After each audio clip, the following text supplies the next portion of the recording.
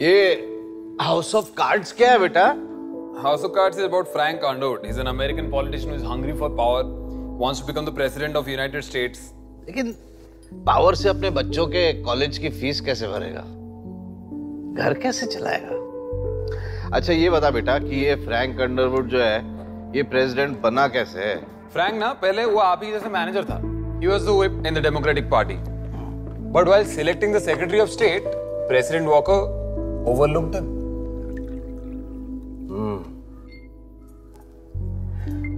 जैसे पिछली दिवाली को मेरा प्रमोशन ओवरलुक हो गया था त्रिपाठी की वजह से Something like that.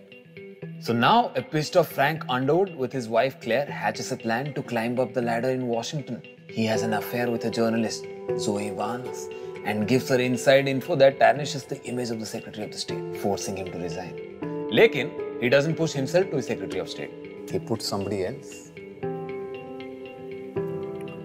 तो मैं भी फिरोजी के साथ अफेयर करके उसे त्रिपाठी की गैस प्रॉब्लम के बारे में बता देता हूँ सलाह सलाह खुद ही रिजाइन कर देगा अच्छा ये बताइए क्या नाम है इसका ये फ्रैंक ये खुद सेक्रेटरी ऑफ़ स्टेट क्यों नहीं बना? वही तो when everybody is thinking one step ahead he is thinking five steps ahead what he does he convinces the vice president to run for governor which opens up vice presidency for himself तो इसका मतलब मुझे भी five steps आगे सोचना होगा। Senior manager Sharma ji. नहीं नहीं नहीं नहीं नहीं vice president Sharma ji. you have to be ruthless dad frank he would give a drink to a recovering alcoholic to sabotage his campaign दिल में पत्थर जोई when she starts asking too many questions frank उसको train के सामने फेंक देता है तेरी फिर फिर once Frank becomes vice president, Frank and Claire they manipulate the president. हर चीज़ में टांग लड़ा लड़ा के they get him to resign. And guess who becomes the new president? Sharma ji Frank Underwood. नहीं वही फ्रैंक अंडरवुड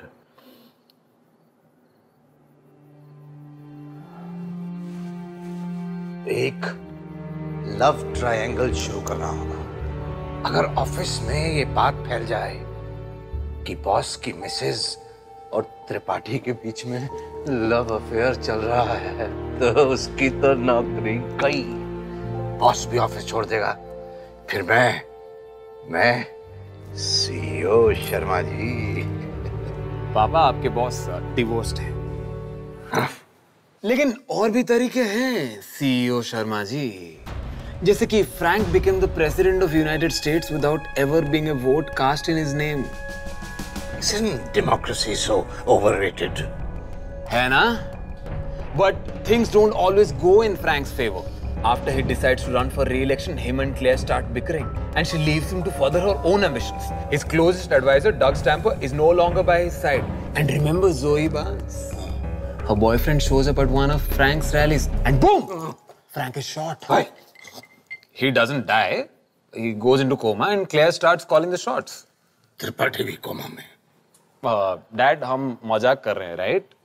हाँ आगे आगे The, the, Zoe's former boss begins to unravel Frank's web of lies and publishes an article. And once Frank is back, a terrorist group takes the family hostage, which makes Frank's rival look like the better candidate. So Frank and Claire vow to unleash chaos and declare war on terror. They'll do whatever it takes to stay in power. Tripathi के साथ भी war शुरू Dad, uh, I think I'm done. Why don't you just watch the show? I'll go sleep. तेरा internet खराब है नहीं मैंने सारे एपिसोड्स नेटफ्लिक्स ऐप में डाउनलोड कर दिए हैं good night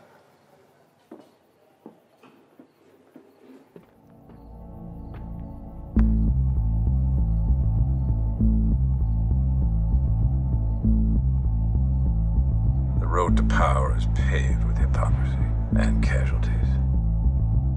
Sanskar is so overrated.